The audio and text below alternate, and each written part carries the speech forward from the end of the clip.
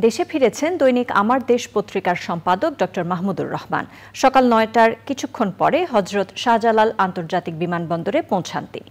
বিমানবন্দরে জামায়াতে ইসলামী সহ বিভিন্ন সংগঠন তাকে স্বাগত জানায়।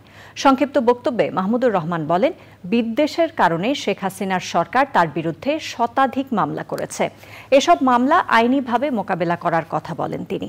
ছাত্র জনতার আন্দোলনে শহীদদের কথা স্মরণ করেন মাহমুদুর রহমান।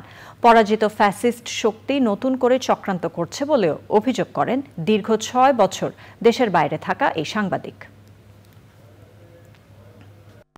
এই বিপ্লবের শহীদদের কোনদিনও ভুলে যেতে পারি না। ইনশাল্লাহ এই শহীদদের আমরা কখনো ভুলব না। পরাজিত ফ্যাসিবাদ বিদেশে বসে, তার বিদেশি বন্ধু, বিদেশি প্রভু, তার কোনো বিদেশি বন্ধু নাই, তার বিদেশি প্রভু এবং বাংলাদেশের এজেন্টদের দিয়ে বিপ্লবকে নস্বাত করার অপচেষ্টা চালাচ্ছে।